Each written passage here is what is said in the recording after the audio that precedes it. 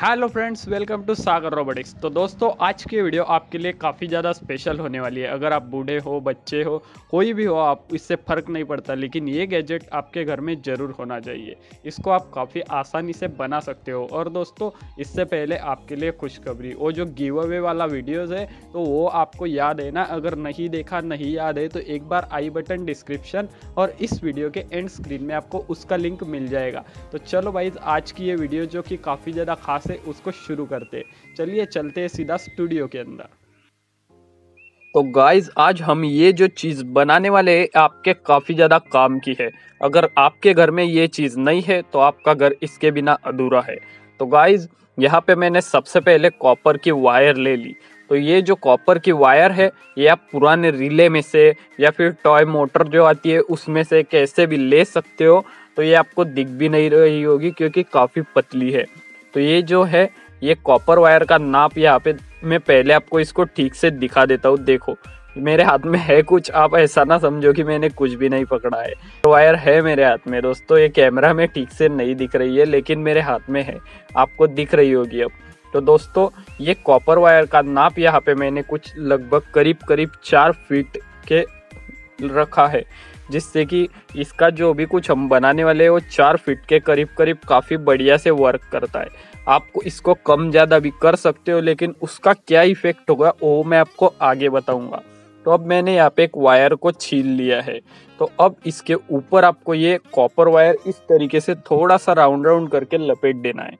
तो दोस्तों, ये हम जो भी वायर इसके ऊपर लपेट रहे हैं, उसका हमने इंसुलेशन निकाल दिया है, जो कि मैंने आपको पहले चाकू से निकालते हुए दिखाया। अब यहाँ पे मैं सोल्डर कर रहा हूँ। तो गाइज़ यकीन मानिए, आपको अभी भी नहीं पता चल रहा होगा कि हम क्या बनाने वाले हैं। तो आपको थोड़ी देर में ही पता चल जाएगा, लेकिन मैंने जो आपको कहा कि अगर ये आपके घर में नहीं है तो आपका घर अधूरा है गाइज़ और आपको कुछ भी इसके लिए ज़्यादा इलेक्ट्रॉनिक्स की नॉलेज होने की ज़रूरत नहीं है, लेकिन आप इसको आसानी से बना सकते हो। और इसके बिना आपका घर अधूरा है, सच में अधूरा है। तो एक बार आप इस वीडियो को ज़रूर वॉच करो भाई। क्या होता है, सिर्फ़ पाँच मिनट की तो वीडियो है, एक बार देख लो पूरा और फिर आप भी इसको बना सकते हो। तो मैंने इसके इधर उधर श्रिंग ट्यूब डाल दी। अब मैंने देखो, आपको दिख रहा होगा कि नीचे का बैकग्राउंड जो है वो पिंक हो गया। तो गाइज़ उसको मैंने पिंक क्यों किया? क्योंकि ये सब कुछ वाइट वाइट था तो दिख नहीं रहा था और आपको ठीक से दिखाना मेरा फ़र्ज़ है। इसलिए मैंने नीचे का बैकग्राउंड पिंक कर लिया। तो इसको अब ये जो वायर है, उसको यहाँ पे हमें टेप से चिपका देना है। तो ये यकीन मानो काफ़ी काम की चीज़ होने वाली है। तो अगर आप बच्चे हो, बूढ़े हो, यंग हो, एडल्ट हो, कुछ भी हो तो ये चीज़ आपके काफ़ी ज़्यादा काम आने वाली है। तो अब ये जो कॉपर वायर था, उसको आपको इस तरीके से इसके ऊपर ऊंड कर देना है मतलब लपेट देना है। और इसका जो लास्ट एंड है, उसको भी हम थोड़ा सा ऐसा टेप लगा देंगे। और ये दूसरी वायर तो इसको हम यहाँ पे चिपका देंगे। गाइज़ ये काफ़ी इंटरेस्टिंग वीडियो है। काफ़ी ज़्यादा बढ़िया काम की चीज़ बनने जा रही है। अगर आपको आइडिया आ चुका है तो वीडियो को पॉज करके अभी के अभी कमेंट में बताओ कि ये क्या बन रहा है। तो अब यहाँ पे मैंने ले लिया अपना एल्यूमिनियम फॉइल अपना मतलब खाना वाना पैक करने का एल्यूमिनियम फॉइल आप भी आपके किचन में इसको देख ही रहे होगे। तो गाइज़ ये भी कैमरा में ठीक से नहीं दिख रहा है भाई, क्या करे? ये काफ़ी चमकीला होता है, काफ़ी ज़्यादा चमक रहा है ये कैमरा के सामने। वैसे fair and lovely fair and handsome कुछ तो लगाता होगा, तभी तो इतना चमक रहा है। चलो भाई, हम इसके बारे में क्या बात कर रहे हैं? चलो प्रोजेक्ट के ऊपर। तो इसको मैंने यहाँ से इस तरीके से फोल्ड कर लिया। अब इसको मैं यहाँ से कट कर लूँगा सीजर के द्वारा, क्योंकि ऐसे तो ये चाकू से भी कट हो जाता है, काफ़ी पतला होता है। लेकिन इसका पर्पस क्या है, वो आपको अभी पता लग जाएगी। तो इसको यहाँ पे आपको ऐसे रखना है और इसको यहाँ पे इस तरीके से लपेट देना है। तो ये काफ़ी आसानी से लपेट जाता है, काफ़ी जैसे मोड़ते हो वैसा ही रह जाता है, क्योंकि ये एल्यूमिनियम से बना होता है। मतलब एल्यूमिनियम का फॉइल है तो एल्यूमिनियम से ही बनेगा। एल्यूमिनियम फॉइल का कॉपर से बनने वाला है?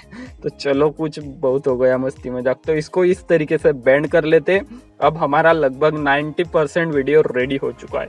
अब हमारा सिर्फ़ थोड़ा सा थोड़ा सा मतलब 90 के बाद क्या आता है? 95 और 100 हाँ अब हमारा सिर्फ़ टेन परसेंट वीडियो का हिस्सा बाकी रह गया है। कुछ बड़ी बात नहीं है, आपने वीडियो देख ली और मैं आपको ऐसा नहीं कहूँगा कि आपका समय बर्बाद हो गया है या फिर मैं क्या कहूँ, आपको भी ऐसा नहीं लगने वाला कि आपका समय बर्बाद हो गया है। आपका समय सही काम पे लग गया है। तो गाइज़ अब इसके बाद आपको क्या करना है? आपको यहाँ पे लेने हैं दो fibre sleeve heat string sleeve या फिर इलेक्ट्रिक टेप कुछ भी ले सकते हो, यहाँ पे मैंने दो हीट स्ट्रिंग ट्यूब का यूज़ किया है।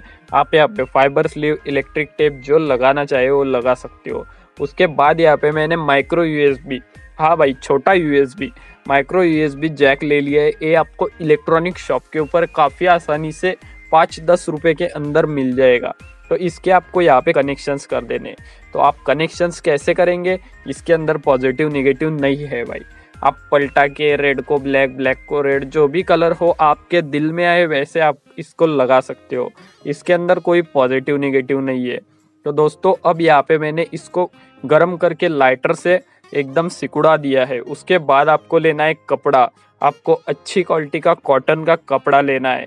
क्योंकि अगर आप टेरिकाट का या फिर कोई वो जो पॉलिस्टर वाला आता है, वो कपड़ा लेते हो तो अच्छे से वर्क नहीं कर पाएगा।